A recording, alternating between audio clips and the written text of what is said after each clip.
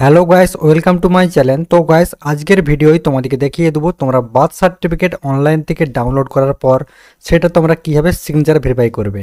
তো গাছ দেখতে পাচ্ছ, আমার কাছে একটা বার্থ সার্টিফিকেট আছে, দেখতে পাচ্ছ, এখানে কিন্তু সিগনেচার ভেরিফাই করা নেই। তো কীভাবে করব? তো এটা আমি এখান থেকে ব্যাক করে ফেলব। তো দেখতে পাচ্ছ, এই যে আমার বার্থ সার্টিফিকেট পিডিএফটা, দেখতে পাচ্ছ ওপেন করে তোমাকে দেখিয়ে দিলাম। তো এখানে তোমরা সিম্পলি রাইট ক্লিক করবে। এরপরে ওপেন উইথ অ্যাডোব অ্যাক্রোবেটে এটা ওপেন করতে হবে, ঠিক আছে? তো সিম্পলি এখান থেকে আমি ওপেন করে ফেলব এটা।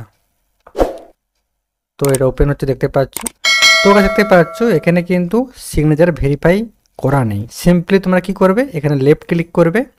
এরপর দেখতে পাচ্ছ সিগনেচার প্রপার্টিস দেখতে পাচ্ছ সিম্পলি এখানে ক্লিক করবে।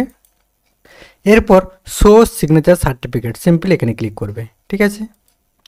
এরপর উপরে দেখতে পাচ্ছ টাস্ট সিম্পলি উপরে টাস্টের উপর ক্লিক করবে। এরপর add to trusted certificates just তোমরা এখানে ক্লিক করবে। অ্যাড টু টাস্টেড সার্টিফিকেটের উপর ক্লিক করবে। এরপর ওকেতে ক্লিক করবে। এরপর এখানে টিক করবে। এরপরে আবার ওকেতে ক্লিক করবে। ঠিক আছে? এরপর এখানে ওকেতে ক্লিক করবে নিচে। এরপর ক্লোজে ক্লিক করবে। এখানে ক্লোজ করবে। মানে এখানে একবারটি ক্লিক করতে হবে। তো গাছ দেখতেই পাচ্ছ, এখানে কিন্তু সিগনেচার ভেরিফাই হয়ে গেল। ঠিক আছে? তো গাইস এভাবেই তোমরা কিন্তু বার্থ সার্টিফিকেট হোক ডেথ সার্টিফিকেট হোক, তোমরা কিন্তু এভাবেই সিগনেচার ভেরিফাই করতে পারবে, ঠিক আছে? তো গাইস এই ছিল আমার ভিডিও তো গাইস ভিডিওটা কেমন লাগল? যদি গ্যাস ভালো লাগে, অবশ্যই লাইক করে দিও।